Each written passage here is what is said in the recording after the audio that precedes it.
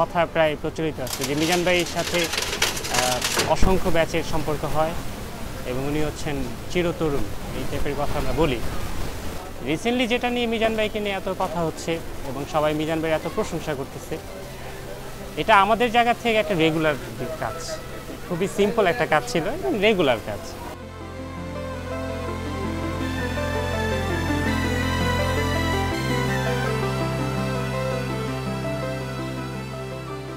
বাংলাদেশের যে অবস্থা, আর্থসামাজিক অবস্থা, মানুষের মনোজগতের যে অবস্থা, সেই অবস্থায় যা হচ্ছে, বহু মানুষই, অনেক রকম ভুক্তভোগী মানুষ এর থেকে মুক্তি চায়, এর থেকে বের হতে চায়।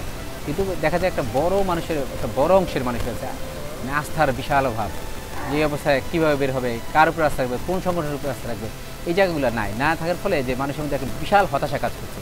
এবং এই হতাশার পেছনে, হতাশা যেই জন্য কাজ করে, যারাই হতাশা তৈরি করছে তারা এক ধরনের লাই পেয়ে গেছে, আশকারা পেয়ে গেছে। এবং আমরা মনে করি আশকারের একটা অংশ আমাদের যেই এমডি সাহেব কথা বলল যে ঢাকা শহরে পানি শতভাগ সুখ্য বা যারা যখন ক্ষমতা থাকে, তারা মুখ দিয়ে যা কিছু তা বলে ফেলে। জানে যে এই অঞ্চলের মানুষ কিছু বলবে না। তো এই মানুষের মধ্যে যে, এই যে অবস্থা তৈরি, যে বন্ধাত্মা, এটার পেছনে অন্যতম কারণ মনে হয় যে আমার সেই সংগঠন এবং ব্যক্তির প্রতি মানুষের আস্থা অনেক উঠে গেছে, অনেক কমে গেছে। তো ওই জায়গা থেকে আমাদের কাছে মনে হয় যে এটা হচ্ছে বাংলাদেশের একটা বড় সমস্যা। এবং এখানে যদি প্রত্যেকটা মানুষ যারা কিছু করতে যায় ব্যক্তি বা সংগঠন তাদের আস্থা জায়গায় প্রথম পরি- পরীক্ষাটা দেওয়া দরকার।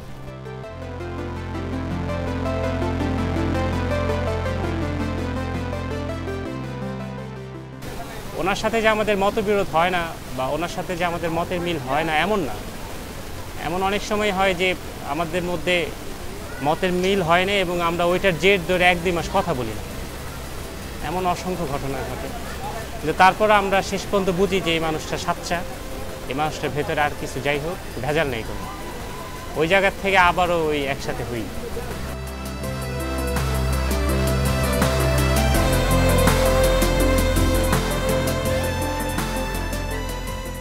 আমার এই চুয়াল্লিশ পঁয়তাল্লিশ বছর বয়সে কোটি কোটি দানা, শস্য দানা আমি গ্রহণ করেছি।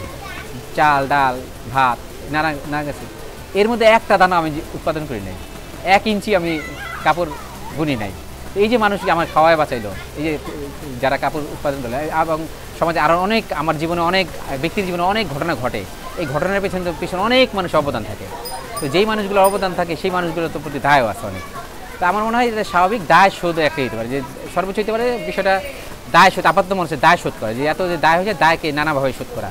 এই শোধের অংশ হিসেবে কাজ করা ওই জন্য মনে হয় না যে অনেক বড় কাজ করা, সাহসী কাজ করা, এটা এই প্রসঙ্গ এটা হচ্ছে, এটা, এটাই মানুষের স্বাভাবিক কাজ হওয়ার কথা।